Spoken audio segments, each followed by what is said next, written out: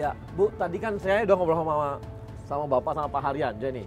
Iya. Jadi karena ternyata tidak ada sosialisasi, tiba-tiba datang polisi, Satpol PP, tentara, BPN dan sebagainya mengukur, akhirnya katanya ada perlawanan. Nah ini saya ingin tahu nih Bang, Bang, perlawanan ke pengadilan akhirnya bagaimana ceritanya nih? Jadi proses awal, awal ya Bang ya? Iya, Dari perlawanan ini sebenarnya warga Bidara Cina RW 4 dan RW 14 itu mengadu lah Nah, ke kantor kami.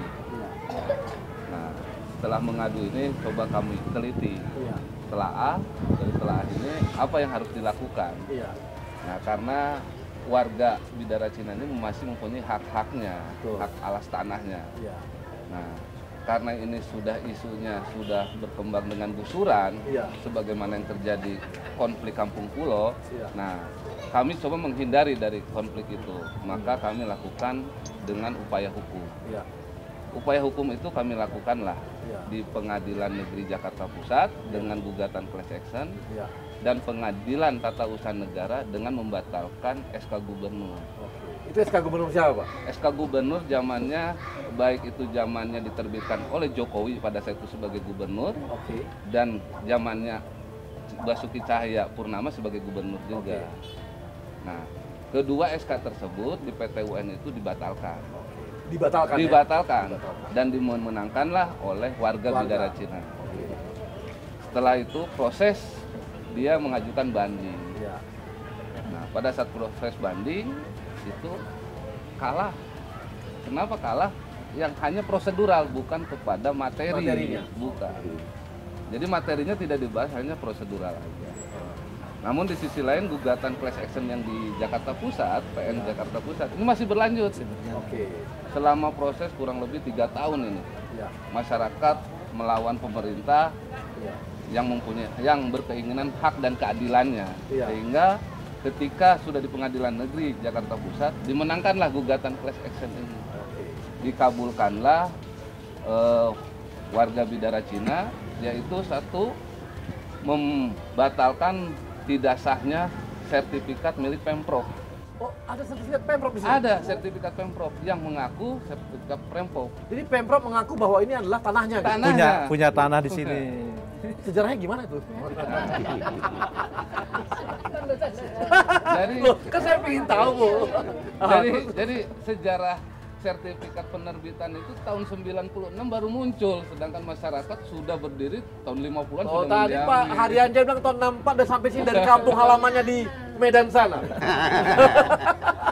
itu bagaimana kepemilikan Pemprov Iya, sertifikat itu iya, masyarakat tidak tahu pernah diukur oleh Pemprov iya. tidak pernah BPN datang Iya. tapi itu muncul Tiba-tiba. tiba-tiba dan itu dimunculkan oleh Pemprov DKI Dan akhirnya menang juga dan warganya. akhirnya menang warga juga.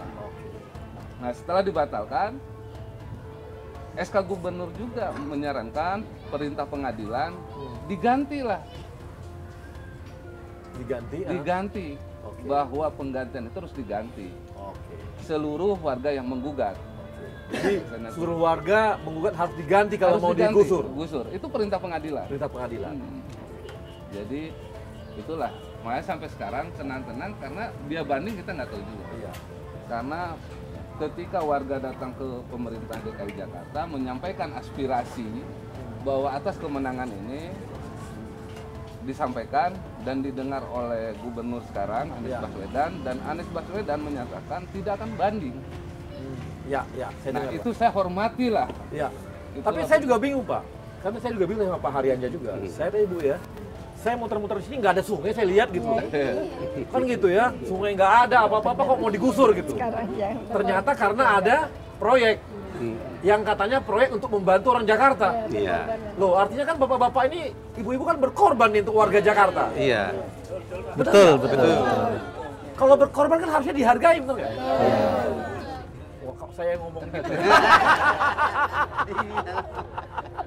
Warga itu sebenarnya kan baik gitu Pak. ya. Pak Haryanja sejak tahun 64 di sini, ya kan? rela mengasih memberikan rumahnya untuk warga Jakarta supaya nggak banjir lagi itu kan namanya berkorban. Sedangkan rumahnya nggak banjir, rumah Rumahnya nggak banjir. Iya. Nggak pernah rumah Pak Haryanja, banjir. bukan Pak. Karena rumah Pak Haryanja, maka Jakarta banjir. Kan nggak pernah Pak. Iya. Nggak pernah. Enggak. Sekarang bapak-bapak, ibu-ibu rela ngasih tanah supaya Jakarta bebas banjir, tapi kok digusur-gusur gitu loh, dikejar-kejar. Malah harusnya berpikirnya kita Pak ya umum, orang yang rela berkorban kan harusnya dihargai ya. Kan Iya. itu harusnya Bu, ya Bu ya.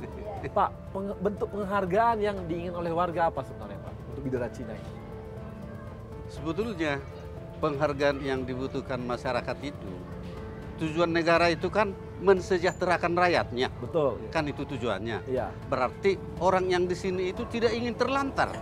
Mana yang terbaik dibicarakan baik-baik kepada masyarakat di sini. Oke. Kan itu yang terbaik. Iya. Dan sepantasnya. Oke. Dan yang terbaik lah karena tidak akan ada orang ingin digusur tambah susah. Iya. Anak-anak bisa sekolah di sini, Iya. berobat dekat, Betul. anaknya pulang jam berapa aja aman. Betul. Ada transportasi 24 jam. Iya. Kalau ditempatkan di suatu tempat, Iya. anak-anak ini mau ke mana? Betul. Yang selama ini hanya transportasi ya, tidak ini perlu. jalan iya. kaki ke sekolah, Iya. Iya. ke sana rumah sakit. Mau mau ngisi Sini- bensin di situ. Kepleset jatuh ke pasar, Pak. Kepleset ke pasar. Iya. Lengkap semua ya. Jadi maunya seperti itu juga Pak ya? Jadi maunya itu yang terbaik karena nanti segala-galanya kami serahkan sama Bapak pengacara. Waduh, bapak pengacara itu. Iya, karena dia membantu kami Pak dan Betul, tidak betul, pernah betul. kami mengeluarkan duit. Iya, iya. Dia dengan sukarela udah bertahun-tahun. Iya. Kadang-kadang kalau di pengadilan itu duduk begini, Bapak ini udah makan apa belum? gitu. Iya. Tapi Jadi- rela Pak. Rela, Pak, ya? Sampai sekian tahun tidak pernah kami membayar sesuatu pun. Kadang-kadang merokok kagak. Jadi Pak sebenarnya gini ya. Jadi sebenarnya adalah warga sebenarnya nggak ada keberatan untuk ini ya. Tapi tolong dihargai. Artinya diganti dengan pergantian yang benar. Tapi dengan fasilitas. Kalau dulu kami dekat ke sekolah saja anak-anak gampang. Iya. Tolong dong Iya. nanti juga ke sekolah gampang. Kalau dulu ada pasar dekat rumah kami, nanti tolong juga dong ada pasar dekat kami. Begitu Pak kira-kira. Di samping juga ada pergantian yang memang layak untuk warga kan gitu. Ya, artinya rakyat itu hanya keadilan aja. Keadilan, layak, transparan. Iya.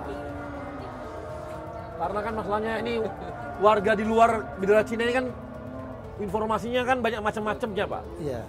Bahwa mereka nggak mau lah, mereka nentang lah, apa semua lah gitu ya. Ini kan perlu mereka tahu juga kenapa melawan kan gitu pak. Karena itu dari dulu. Ya. Yang, yang tidak berkepentingan itu dari dulu.